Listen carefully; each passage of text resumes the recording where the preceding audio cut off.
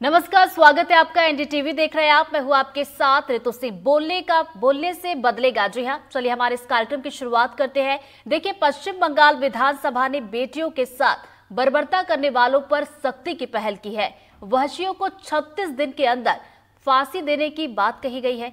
सवाल यह है कि इस विधेयक के पास होने के बाद अब आगे क्या?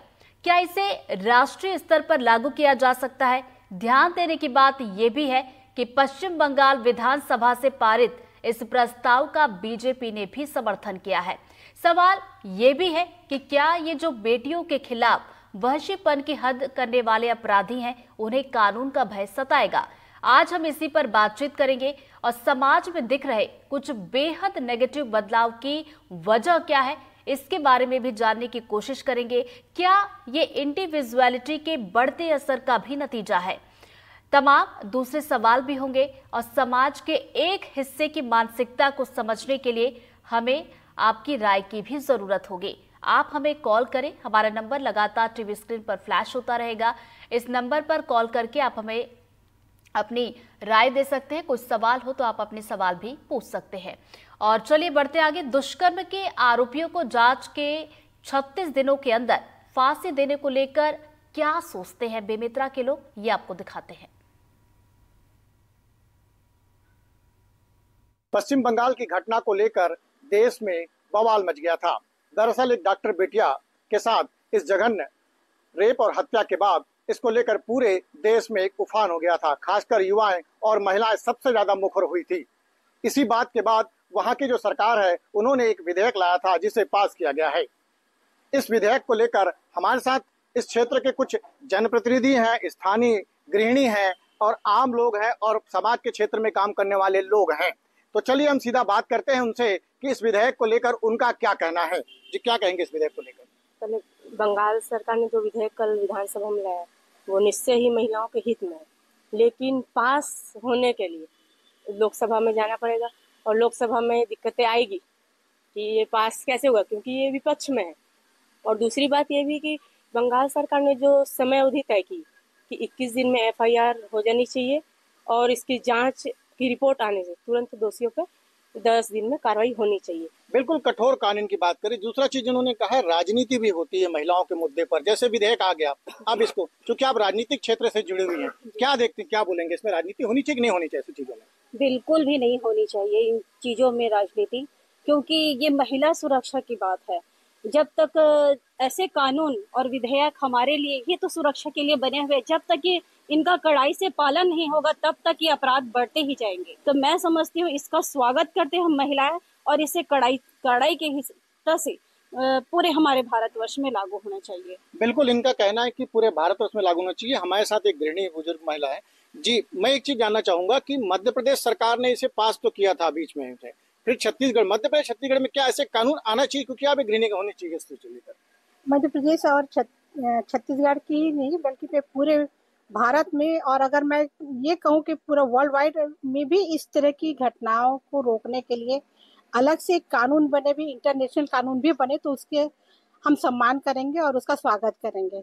रही बात, आजकल जो किस संदर्भ में आपने पूछा है कि बंगाल में जो अभी नया अधिनियम लागू हुआ है, उसके तहत मैं कहूँगी कि ये इस नियम, इस अधिनियम को आगे बढ़ाते हुए भारत सरकार को भी इसमें अपनी हाँ हामी भरनी होनी चाहिए। हमारा उद्देश्य यहाँ पर सीधा महिलाओं से बात करने का हम कोई कानून के लिए दबाव नहीं बना रहे कोई चीज़। आप क्या चाहती है महिला होने के नाते इस कानून को लेकर क्या ओपिनियन है आपका?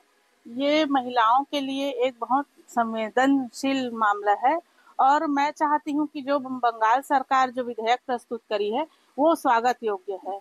और केंद्र सरकार को उसमें सहमति देनी चाहिए और ये नियम जैसे अभी दीदी लोगों ने कहा कि पूरे भारतवर्ष में लागू होना चाहिए तो मैं भी इस चीज़ को मानती हूँ कि लागू होना चाहिए। बिल्कुल देख रहे हैं कि महिलाओं का सीधा आक्रोश है एक मैं केस देना चाहता हूँ एमपी का खंडवा का है। उसमें जो रेप के रेपिस्ट है उनको दो बार फांसी दी गई थी लेकिन दोनों बार न्यायालय की ओर से बच गया। क्या कहेंगे न्यायालयीन प्रक्रिया को लेकर आप?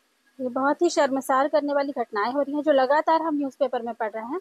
और अगर इसमें आरोपियों को अगर ये पता चलता है कि आरोप सिद्ध हो जाता है इक्कीस दिन के अंदर और जो विधान लाए जाने हैं, उनको ज़रूर से कड़ाई से इनका पालन किया जाना चाहिए। किसी भी राजनीतिक दबाव को इस पर हावी नहीं होने देना चाहिए और कानून को दृढ़ता से इसमें लागू करना चाहिए। बिल्कुल, ये थी यहाँ बेमित्रा की महिलाओं का ओपिनियन उनका कहना था कि जो बंगाल की सरकार ने जिस विधेयक को पारित किया, वो निश्चित रूप से बहुत अच्छा विधेयक है और यह पूरे बंगाल ही नहीं, पूरे देश में लागू होना चाहिए और केंद्र सरकार से भी अपील कर रहे हैं कि ऐसे विधेयक को कड़ाई से पालन करने के लिए वो भी विधेयक लाए और इसे स्वीकृति प्रदान करे। एनडीटीवी के लिए बेमित्रा से सुजीत शर्मा। तो देखिए, रिपोर्ट आपने देखी, लोगों का क्या कुछ कहना है, ये भी आपने सुना। और अब सीधे हमारे मेहमानों का रुख करते हैं। हमारे साथ काकुली रॉय जुड़ गई हैं, जो कि साइकोलॉजिस्ट हैं। खुशबू जैन जी जुड़ गई हैं, जो कि सुप्रीम कोर्ट की वकील हैं। मनीषा आनंद जी जुड़ गई हैं, जो कि मोटिवेशनल स्पीकर है। सभी से हम इस मामले को समझने की कोशिश करेंगे। चूँकि देखिए, पश्चिम बंगाल में यहाँ पर हमने देखा कि 36 दिन में फांसी तो एक बिल जो पास हुआ है, मुझे लगता है कि खुशबू जी के पास सबसे पहले जाना चाहिए। खुशबू जी 36 दिन में फांसी की सजा को लेकर देखिए बिल पास हुआ।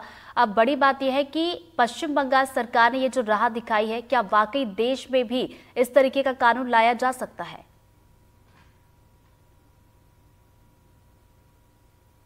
खुशबू जी। हाँ जी।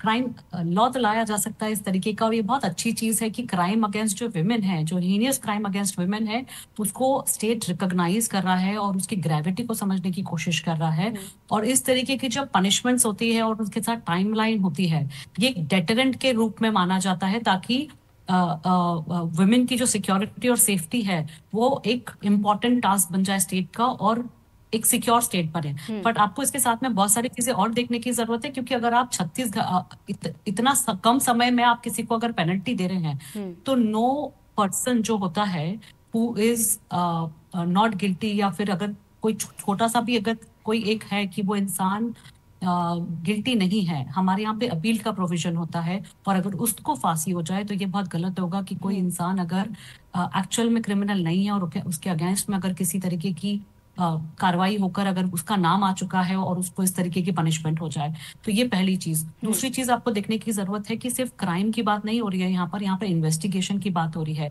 आपका इन्वेस्टिगेशन फुल फुल प्रूफ करने की बात है कि आप हम्म। समय पे इन्वेस्टिगेशन करें और फुल प्रूफ इन्वेस्टिगेशन करें जहाँ पे बहुत अकाउंटेबिलिटी और ट्रांसपेरेंसी हो अगर वो मज़बूत नहीं होता है तो ये जो लॉज है उनका कोई मतलब नहीं रहेगा बिकॉज़ आपको हमारे पास लॉ तो पहले भी थे डेथ हम्म। पेनल्टी पहले भी थी जहाँ पे क्राइम अगेंस्ट रेप की अगर हम बात करते हैं या फिर वेजिटेटिव स्टेट वाली बात करते हैं, अगर रेप करने से किसी विक्टिम वेजिटेटिव स्टेट में चली जाती है या वेजिटेटिव स्टेट में कोई विक्टिम है और कोई कोई इंसान है और उसके साथ रेप होता है तो डेथ पेनल्टी तो तब भी थी। हीनियस क्राइम में डेथ पेनल्टी पहले भी थी लाइफ इंप्रिजनमेंट भी था। पर प्रॉब्लम आती है इन्वेस्टिगेशन की फेयर इन्वेस्टिगेशन की टाइमली इन्वेस्टिगेशन की जो हमने वेस्ट बंगाल में भी देखा कि हम्म। कितने समय के बाद जाकर एक एफ़ रजिस्टर होती है। तो ये जो इन्वेस्टिगेशन है आप एविडेंसेस कब तक कलेक्ट करते हैं किस तरीके से करते हैं वहाँ पर अकाउंटेबिलिटी और ट्रांसपेरेंसी ये सारे पहलू एक साथ देखने पड़ेंगे।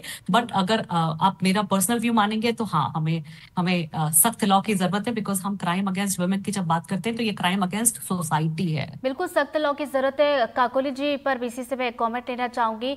काकोली जी देखिए देखिए कि 36 दिन में फांसी की सजा को लेकर बात कही गई है। मध्य प्रदेश का भी मैं यहाँ पर ज़िक्र करना चाहूँगी। 2017 में यहाँ पर भी कानून आया।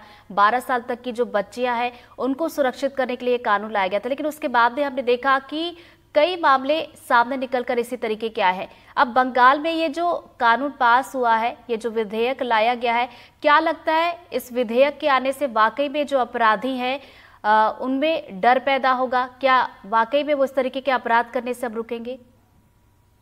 जी जैसे अभी खुशबू जी ने बताया मैं भी उस चीज़ को दोहराऊँगी कि हाँ वेलकम है इस विधेयक का, क्योंकि सख्त कोई भी पनिशमेंट हो या कोई भी रूल्स एंड रेगुलेशन हो उसकी सख्ती फॉर्मनेस एंड स्ट्रिक्टनेस बहुत इंपॉर्टेंट है हम्म। उसमें अगर कहीं भी लूप होल्स हो जाए कहीं से भी उस वो ढीला पड़ जाए तो उसका फ़ायदा नहीं होता जब हम सबको पता है हम्म। बहुत इंपॉर्टेंट है दूसरा इसका एक साइकोलॉजिकल पक्ष मैं ज़रूर कहना चाहूँगी कि फियर ऑफ़ डेथ शायद फियर्स में साइकोलॉजिकल इमोशनल निगेटिव इमोशन में बहुत बड़ा माना जाता है और वो बहुत ज़्यादा हर मनुष्य में होता है हम्म। अगर पेनल्टी डेथ पेनल्टी की बात कर रहे हैं तो फियर ऑफ़ डेथ की भी बात होनी हो, होती है कि कम से कम उस डर से शायद कुछ कमी हो तो वो एक इम्पोर्टेंट पक्ष है हर चीज़ में इसीलिए डेथ पेनल्टी नहीं दी जाती लेकिन हम्म। इस जघन्य कार्य के लिए अगर ये किया जा रहा है तो इसका बिल्कुल स्वागत है क्योंकि वो वाला एक मोटिव काम करेगा कि उन्हें भी डर होगा कि इसकी सजा कितनी हम्म। गंभीर हो सकती है। ये एक बात है। दूसरी तरफ़ ये ज़रूर ध्यान देना पड़ेगा कि जहाँ पर रूल्स हैं वहाँ पर रूल्स तोड़ने की भी बात आती है। और इंडिया में जिस तरह से होता है कि इन्फ्लुएंस होता है यहाँ वहाँ होता है जो आपने अभी दो, 2017 की बात बताई कहीं ना कहीं से वो लूप होल्स निकल कर आती हैं और वो होने पर भी एक एक रूल्स बनने पर भी बिल पास होने पर भी उसका वो विटनेस ही नहीं मिलता या फिर एविडेंसेस ही नहीं मिलते समय पर नहीं होता और जाकर वो, वो सजा का कोई मतलब नहीं रह जाता हम्म। तो ये बहुत इंपॉर्टेंट है कि हम लोग उस लूप होल्स की तरफ़ बहुत ध्यान दें कि गंभीरता से अगर चीज़ों को बनाया जा रहा है इतने लोग जुड़े हैं सारी महिलाएँ जुड़े हैं अगर सब लोग इस चीज़ को मान रहे हैं तो उसको गंभीरता से पालन भी किया जाए कि हाँ सब जगह ना केवल पश्चिम बंगाल बल्कि सभी जगह सिक्योरिटी के लिए ये चीज़ हम्म। करना आ, मेरे ख्याल से बहुत वेलकम स्टेप होगा बिल्कुल सही कहा आपने, ये सिर्फ़ पश्चिम बंगाल की बात नहीं, पूरे देश भर में हम देखते हैं इस तरीके के मामले सामने निकल कर आते हैं तो बिल्कुल सख्त कानून यहाँ पर बनना चाहिए और उसका पालन होना ये बेहद ज़रूरी है, काकोली जी। चलिए मनीषा जी भी हमारे साथ जुड़ी है। मनीषा जी, जिस तरीके से हम देखते हैं कि समाज में हम कहते हैं कि समय के साथ जो बदलाव हुए हैं, उसके चलते इस तरीके की हम घटनाएँ भी देखते हैं तो क्या ये भी ज़रूरत महसूस होती है? ज़ाहिर सी बात है कि समय के बदलाव के साथ कानून में भी बदलाव हो और जिस तरीके से छत्तीस दिन में फांसी की सजा ये भी एक अहम बदलाव यहाँ पर पूरे देश में भी हमें इस तरीके के कानून का देखने को मिलना चाहिए। बिल्कुल, बदलाव प्रकृति का नियम है ऋतु सो बदलाव तो होना ही चाहिए, क्योंकि परिस्थितियाँ बदल रही हैं तो उसके साथ साथ कानून में भी बदलाव होना ही चाहिए। क्योंकि जिस तरह के अपराध हम देख रहे हैं, हमारी बच्चियों के साथ हो रहे हैं जैसा कि अभी बताया कि हाँ कानून पहले भी बनेंगे लेकिन एक सख्त कानून बनना बहुत ज़रूरी है। और मैं अगर बात करूँ छोटे बच्चों की बच्चियों की तो उनके लिए अ, उनके साथ जो गलत होता है और जो जघन्य अपराध होते हैं उसको देख करके मुझे ऐसा लगता है कि जितने भी जो अपराधी हैं वो ज़रूर कहीं ना कहीं थोड़ा सा तो डरेंगे अगर इस तरीके के सख्त कानून आएँगे। मैं बहुत स्वागत करती हूँ इस छत्तीस की फांसी के कानून का क्योंकि हमारा जो भारत है अभी तक हमारे भारत को बहुत ही सहनशील माना जाता है। सब अपनाने वाला एक्सेप्टिंग कि हमने सबको अपनाया है। और हमारी जो दृष्टिकोण हमेशा रही है वो अपनाने वाली रही है और सबको साथ में लेके चलने वाली रही है। सुधार की तरफ़ हम काम करते हैं अपनाने की तरफ़ काम करते हैं। बट अब समय आ गया है कि हम भी एक स्टैंड लें। एक सख्त कानून के माध्यम से हम एक ऐसा स्टैंड लें और हम ये बहुत क्लियर बताएँ सबको और खास करके अपराधियों को कि हम इसको अब और बर्दाश्त नहीं करेंगे हम्म। अगर इस तरीके की कोई चीज़ होती है गलत बात होती है तो बेशक इस तरीके के कानून होने ही चाहिए मैं इस बात से अग्री करती हूँ कि यस इन्वेस्टिगेशन प्रॉपर होने चाहिए नो डाउट लेकिन अगर इस तरीके के सख्त कानून नहीं होंगे तो अपराधी बहुत आसानी से इस तरीके की अपराध चलता रहेगा और बहुत लिबर्टी लेते हैं बहुत बहुत हम्म। ग्रांटेड लेते हैं तो I am really very happy और मैं इस बात को बहुत इसका स्वागत करती हूँ और इस बात को बहुत अप्रिशिएट करती हूँ कि इस तरीके का सख्त कानून आए खुशबू जी, एक सवाल ये था कि देखिए, कानून तो कई दफ़ा बनते हैं, लेकिन ये देखने को मिलता है कि उसका इम्प्लीमेंटेशन नहीं हो पाता है। तो इस तरह के कानूनों की अगर बात की जाए तो किस तरीके से इसमें सख्ती लाई जाए? और यहाँ पर ज़रूरत ये भी होगी कि जो कानून बनाए गए हैं, उसका ज़मीन पर क्रियान्वयन भी दिखे। सी फोर एंड फॉरमोस्ट अगर आप देखेंगे तो जो अपने नए क्रिमिनल लॉज इम्प्लीमेंट हुए हैं एक जून से uh, वो लॉज बहुत क्लियरली टेक्नोलॉजी का इन्वॉल्वमेंट रखते हैं टाइमलाइन डाली है उन्होंने विमेन सेंट्रिक जितने विमेन रिलेटेड जितने क्राइम्स हैं उनको रिकॉग्निशन दिया खुशबू जी यहाँ पर मैं आपको तो रोकना चाहूँगी एक दर्शक हमारे साथ जुड़े हैं अशोक जी। चलिए उनसे दोबारा हम जुड़ेंगे दोबारा कॉल आएगा तो उनकी कॉल हम लेंगे। खुशबू जी आप अपनी बात कीजिए। मैं ये कह रही थी कि हमारे जो नए क्रिमिनल लॉज इम्प्लीमेंट हुए हैं B N S and B N S S और उसके साथ में जो हम आज के जिस लॉ की बात कर रहे हैं, इन सब में अगर आप देखोगे तो विमेन सेंट्रिक बहुत सारे कानून बनाए गए हैं टाइमलाइन दी गई है कि कितने दिनों में पुलिस को इन्वेस्टिगेशन कंप्लीट करनी है, उसके बाद में ट्रायल कितने दिनों में चलेगा टेक्नोलॉजी का इन्वॉल्वमेंट की बात की गई है यहाँ पर कि कैसे आप टेक्नोलॉजी को इन्वॉल्व करेंगे, जहाँ पे अगर कोई औरत जाकर स्टेटमेंट नहीं दे सकती है पुलिस स्टेशन में तो उसके लिए प्रावधान है कि वो घर से उसका स्टेटमेंट दे सकती है, जहाँ पर अगर उन्हें बाद में कोर्ट प्रोसीडिंग्स में स्टेटमेंट कोर्ट में आके नहीं देना है तो वो दे सकती है। अगर विटनेसेस जो मौजूद नहीं हो रहे हैं, वो रिक्वेस्ट पे ऑनलाइन कर सकते हैं। तो मैं ये बोल रही हूँ कि ये जो सारे कानून है, इनको इम्प्लीमेंट करना, इनको सिस्टम में लेकर आना, जो हमारी लॉ इन्फोर्समेंट एजेंसीज हैं, उनको इस बारे में विक्टिम को और आम जनता को बताना बहुत ज़रूरी है। बिकॉज़ आपको और मुझे ये पता भी नहीं होता है कि हमारे कितने राइट्स हैं, कितने हमारे, हमें लेकर कितने राइट्स बनाए गए हैं। तो जो पावरफुल इंसान होता है, वहाँ पर वो होता है पुलिस स्टेशन उस टाइम पे और उन्हें जनता की गाइडेंस बनना होगा, उनकी आँखें बननी होगी लॉ को लेकर। और ये हम देखते हैं कि हमें कितना डर और भय रहता है किसी पुलिस स्टेशन में जाकर रिपोर्ट करने में। तो आई थिंक यहाँ पे थोड़ा चेंजेस लाने की बहुत सख्त ज़रूरत है, जहाँ पर हमारी लॉ इन्फोर्समेंट एजेंसी को समझना होगा कि उनका जो जॉब प्रोफ़ाइल है वो जनता के लिए है।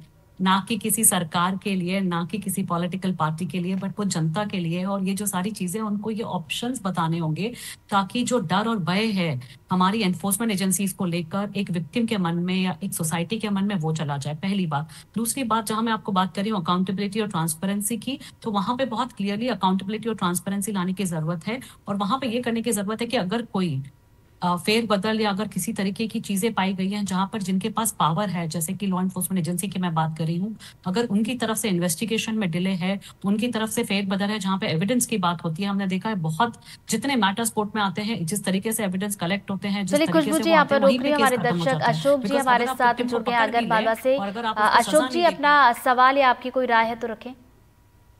मैडम मैं वकील साहब से पूछना चाहता हूँ। जी पूछिए।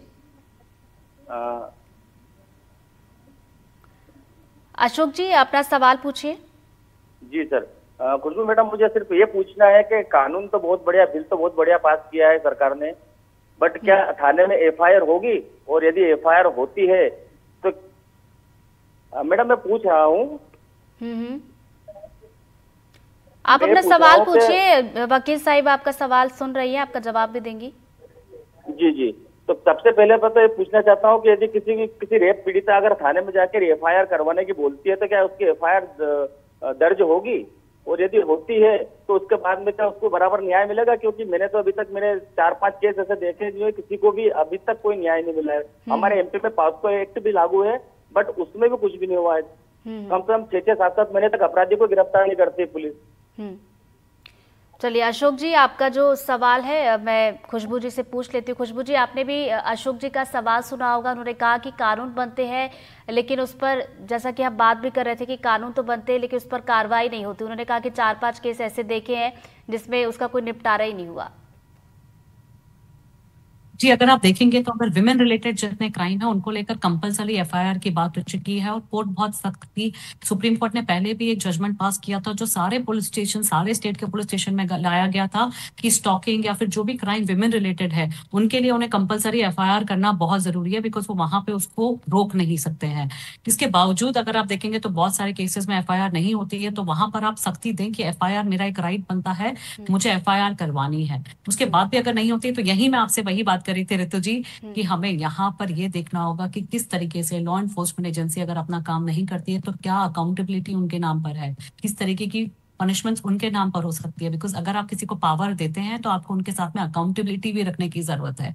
तो यहाँ पर मैं बोल रही हूँ कि अगर इस तरीके के प्रावधान कोई कोई स्टेट लेकर आती है तो आई थिंक हम तीनों जो यहाँ पर है speaker including yourself Ritu हम सबको तब समझ में आएगा कि एक्चुअल में जेनरल जेनरली कुछ होने की ज़रूरत है। बिकॉज़ सिर्फ़ लॉ बनाना नहीं है, उनको एनफोर्स करना एनफोर्स करने के बाद में ये देखना कि वो इम्प्लीमेंट हो गए हैं अच्छे से, और उसका अगर उसको, उसका कोई मिस हो रहा है उन लॉज को रिलेटेड तो उसका, उसके लिए क्या प्रावधान है। ये पूरी चीज़ें देखना तब जाकर एक पूरा साइकिल कंप्लीट होता है। एक साइकिल कंप्लीट करने से काम नहीं होगा। जी आ, काकोली जी मेरे ख्याल से कुछ कहना चाह रही है मैं सर का अगर आंसर बड़े करूँ गौर तो से अगर सुन कंप्लेंट नहीं हो रही है सर तो आप प्लीज़ अपील करें और अगर फिर भी आपकी कंप्लेंट नहीं हो रही है तो आप बहुत सारे पब्लिक फोरम है जहाँ पे इसको अपील कर चलिए दोबारा आपके पास लौटूँगी खुशबू जी काकोली जी कुछ कहना चाह रही है उनको जल्दी से सुन लेते हैं काकोली जी। जी मैं खुशबू जी की बात को ही मैं ऐड करना चाह रही हूँ कि बहुत इम्पोर्टेंट है वो अलर्टनेस की बात कह रहे हैं कि जहाँ भी जो भी ऑफिशियल्स हैं जहाँ पर ये इम्प्लीमेंटेशन होने की ज़रूरत है और लिखा जा रहा है बार बार एक बार नहीं कई बार कि वो नहीं हो रहा है नहीं हो रहा है नहीं हो रहा है। एविडेंस मिट जा रहे हैं देर हो जा रही है टाइमलाइन खत्म हो जा रही है एफआईआर नहीं हो रहा है। ऐसे में ऑफिशियल्स की अलर्टनेस उनके सिंसियरिटी पर ज़रूर कोई प्रावधान हो ताकि उ- उ- उन, उन वो भी आंसरेबल हो कि हमने क्यों नहीं किया उसका क्या कारण है और अ, क्या और जल्दी हो सकता है? तो ये 36 दिन हम लोग कह रहे हैं जल्दी है। नहीं होगा अगर सब लोग इसमें जुट जाएँ। सब लोग इसमें टाइमली सारी चीज़ें मतलब एफआईआर करने में जो झिझक है लोगों की जनता की हम जनता की वो ना हो वो जितनी जल्दी हो सके वहाँ पर अपनी बात लेकर जा जा पाए क्योंकि ये हमारा अधिकार है। पहला। दूसरा कि जो सामने वाला है सुनने वाला है जो ऑफिशियल्स हैं वो भी उतनी ही तत्परता उतनी ही अलर्टनेस और उतनी ही गंभीरता से छोटी से छोटी या बड़ी से बड़ी काकुली जी आपकी पूरी बात हम सुनेंगे इस वक्त ज्योति शर्मा जी हमारे साथ जयपुर से दर्शक जुड़ गई हैं। ज्योति जी अपना सवाल अगर कोई हो तो पूछ सकती हैं कोई राय तो अपनी रखें। जी मेरा सवाल ये था कानून तो बहुत अच्छा बनाया है हम्म। लेकिन क्या पुलिस वाले तुरंत एफआईआर लिखेंगे? क्या इसके ऊपर तुरंत कार्रवाई होगी। इसके साथ साथ क्लॉज देने चाहिए कि पुलिस वाले ने अगर नहीं लिखा तो उसके ऊपर कार्रवाई हो। और अगर आप लोग जैसे कि अभी डॉक्टर बिटिया के केस में हुआ है हम्म। तो आप पुलिस वालों को भी इसमें आप लीजिए हम्म। कि वो तुरंत इसके ऊपर करे। अदरवाइज़ इम्प्लीमेंट होगा ही नहीं आपका हम्म, क्योंकि नीचे से ही सारा खाता खराब है। हम्म। चलिए बहुत बहुत शुक्रिया। एक एडवाइस थी। जी ज्योति जी बहुत बहुत शुक्रिया आपका हमारे साथ जुड़ने के लिए और अपनी राय रखने के लिए। और आपका ये जो सवाल है मैं खुशबू जी से पूछूँगी लेकिन काकुली जी अपनी बात कर रही थी उनकी पूरी बात सुन लेते हैं। काकुली जी। जी मैं यही कह रही थी जो उन्होंने पूछा शायद मैं उसी बात को लेकर आगे बढ़ रही थी कि हर जगह पर हमें उतनी तत्परता सिंसियरिटी और अलर्टनेस की ज़रूरत है। अगर होगा तो शायद ये सवाल नहीं उठेंगे कि क्यों नहीं कार्यवाही हो रही है क्यों नहीं न्याय मिल रहा है क्यों नहीं ऐसा हो रहा है। वो सारी चीज़ें समय पर होंगी तो एविडेंसेस में मिलेंगे। यहाँ पर मैं एक और पॉइंट उठाना चाहूँगी कि प्रावधान बहुत अच्छा है विधेयक बहुत अच्छा बना है हम लोग सब उसका वेलकम करते हैं सब कुछ ठीक है। बस एक जो मन में मेरे डर है वो ये है कि जब भी कोई भी विधेयक आता है और उसके डर से कुछ वारदातों की गंभीरता बढ़ जाती है। हम्म। जैसे अब शायद मुझे नहीं मालूम लेकिन शायद ऐसा भी आ, सोच रही हूँ मैं कि ऐसा हो हो, हो सकता है कि इतने स्ट्रिक्टनेस से शायद लोग एविडेंस को पूरी तरह से खत्म करने का पहले से प्लान बनाए। चलिए मनीषा मनीषा मनीषा जी का मैं रुक करना चाहूँगी। मनीषा जी बहुत देर से बैठी हुई हैं देख रही हैं उनकी बारी कब आएगी। मनीषा जी देखिए एक सवाल ये भी होता है कानून को लेकर भी हम बातचीत करें लेकिन ज़रूरत ये भी है कि समाज को भी थोड़ा सा शिक्षित किया जाए लोगों को कानून के बारे में जानकारी भी दी जाए। और जैसा कि हम इन चीज़ों को लेकर भी बात कर रहे थे कि कई दफ़ा केसेस होते हैं लेकिन लड़कियाँ चुप रह जाती तो उनको भी खुलकर आना होगा। अगर इस तरह की केसेस होते हैं तो उनको खुलकर बोलना होगा और शिकायत भी करनी होगी। मनीषा जी।